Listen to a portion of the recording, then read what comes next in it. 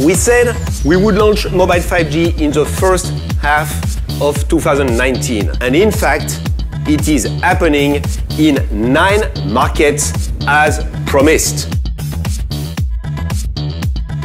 We pushed the technology one step further for 5G. We have made a partnership with a company called Hutch we will be the supplier for Google to connect Google Fi to the 5G network that we deploy in the United States. When you combine T-Mo and Sprint, that will turbocharge our ability to deliver a real compelling 5G value proposition in the US